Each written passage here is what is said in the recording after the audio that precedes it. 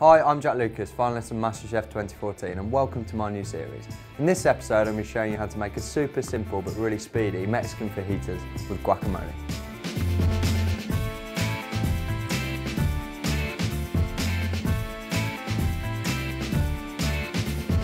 So the first thing that I'm going to do is use beef. So I've got a lovely sirloin steak here, but any old steak that you'd use and, and eat on its own would be perfect in this. So I'm just going to slice it into some nice chunks.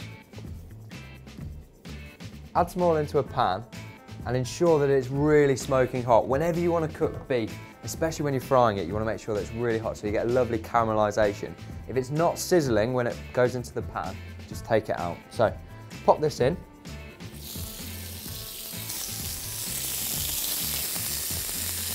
Now the key at this stage is not to touch it and don't stir it around. Allow it to caramelize and get some lovely colour. Into that beef, I'm just going to add a little bit of paprika and a little bit of ground cumin, about half as much. And some seasoning, just so salt and pepper. After about 45 seconds or so, give it a little stir, leave it for another 30 seconds and then remove it. At this point, the beef isn't going to be fully cooked, but it will cook when it goes back in with the peppers.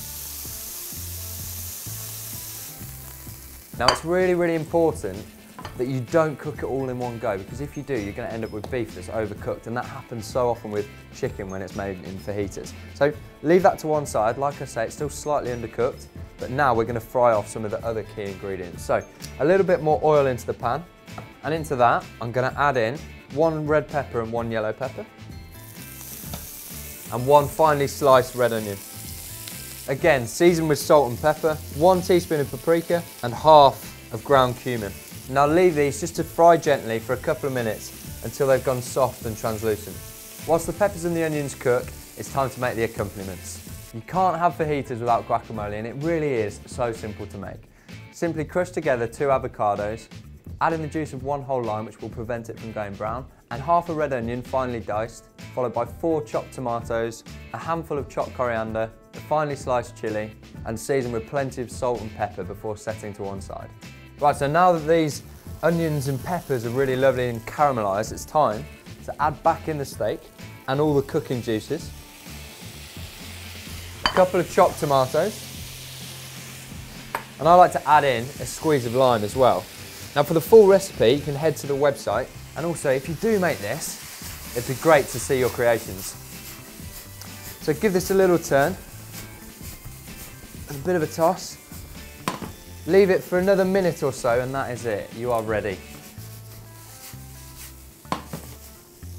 Just going to add in some chopped coriander and this dish is done.